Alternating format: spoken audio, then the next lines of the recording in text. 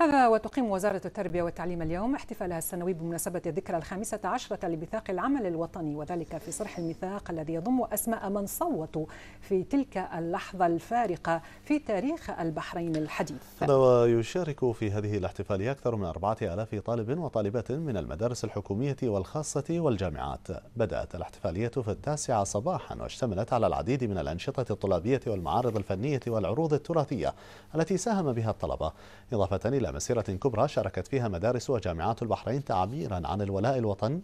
للوطن وجلالة الملك المفدى ومن المزمع أن تنتهي الاحتفالية في الساعة السادسة من مساء اليوم بحفل تكريم كبير لعدد من الفعاليات التربوية والمجتمعية